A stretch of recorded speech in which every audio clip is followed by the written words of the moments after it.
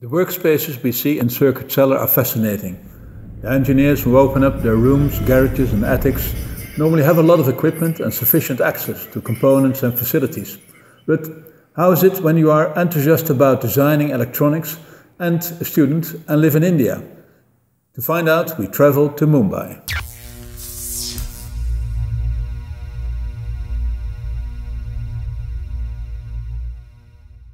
Good morning. This is Nishant. Hi. Where are we? Okay, I'm uh, I'm Nishant and we are here at IIT Bombay. IIT Bombay. That sounds like um, prestigious college. Yeah, uh, this is one of the major colleges in India and rather even in world it comes in top 100 and uh, it has all the facilities right from uh, mechanical engineering to chemical engineering or you can go for polymer or electronics whatever you think of in engineering branches you And can find it over here. And what branch are you doing? Uh, I'm doing uh, my masters over here in electronics system, so which Okay. falls under electrical department. Talking about workspaces. Yeah, It's a desk. it's basically uh, you have been given basic amenities what you require as a student. So you don't you would require a bed, a table, and uh, a cupboard. Uh, so that that that and, and apart from that they provide internet. So What, what basic equipment uh, do you have? What Uh, what? so basic equipments I have a soldering gun. Okay. Um, uh, I keep a good multimeter, but uh, unfortunately the multimeter I have placed it in my lab. okay. Uh, and apart from that, I have my laptop wherein I use number of softwares. What sort of software are you using? So for PCB design, I use Eagle, uh, which is the favorites of uh, I think 90% engineers all around. And uh, being a student, uh, we get a privilege that we get student version uh, softwares for uh, every costly softwares like MATLAB and uh, any type of softwares you think of, we get student versions. Yeah.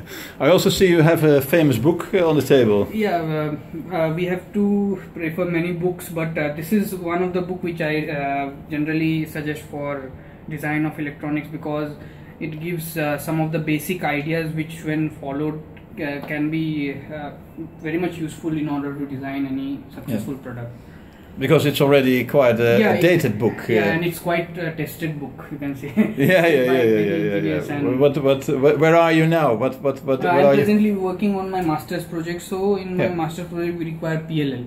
Okay, so uh, PLL, yeah, so phase locked loop. Yeah, Yeah. so I'm generally I'm uh, going through how I can implement it because we need to implement a high speed PLL. What, what more do you have on your desk? What, uh, Okay, what? so I, I have this microcontroller boards which I have made.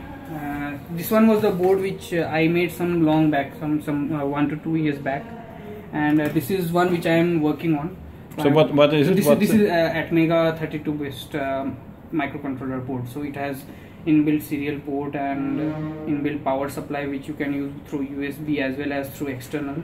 And there is this LCD port, and apart from this, uh, this is motor driver. So you can use it to drive the motors, and there are LEDs. So uh, I want to make a good trainer board. You It's can a say general, general General purpose, purpose board. board so for. I am opt- yeah. I, this this one this one is made as a first prototype.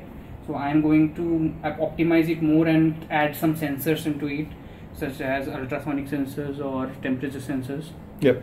uh, so that it can be used as standalone board for any type of prototype designing. Okay. How, how do you get to your components? How easy is it to? Oh, it's very difficult. Uh, this is the box which I use. This is my lab. Actually. Okay, so this is Yeah. basically your lab. Yeah. this, So, uh, this box contains everything. Yeah. It's a lab in a box. Yeah, lab in a box. And what, what exactly is on the board? I'm seeing Uh, you're yeah, doing this some. Is, uh, this, this is a project idea which uh, I am implementing. Uh, as uh, like uh, every semester I implement, I try to implement a new idea. So this is one of the idea which is automatic home cleaning. So uh, automatic. Sorry, what? home, home cleaning. Home cleaning. Yeah. So very Okay, so a sort of a iRobot. Uh, uh, sort of you can say but uh, this is more on application based uh, like it's uh, i don't i don't make any project which should simply stay in a room because i either publish in a magazine you're, you're doing your masters now. Yeah. What what is your um, what what is your ultimate goal? What would you like to you know do in the future? What what Uh, are you my, aiming at? uh, my ultimate vision is to develop uh, a new product which would uh, which would uh, certainly revol- revo- revolutionize uh, the uh, industry but uh, that is that is my vision but uh, my present goal is to be a a good engineer and uh, develop some good uh, products and develop some. What, what, what is your favorite uh, piece of equipment here in the room? Uh, in my room, uh, I uh, this this is one of the thing which is lifesaver. Uh, because uh, many times I realize uh, I, I work in lab and come come to my room and I realized that uh, this circuit is not working because uh, this path had to go from here and not from here. Okay, So okay. This so is a lifesaver. is, is it more soldering or desoldering? Desoldering. you can say. yeah. Where do you see yourself in 10 years' time? Well, I see myself. Uh, I I can't uh, imagine myself in that way, but I see myself as a good uh, and proficient uh, electronics engineer. Thank you.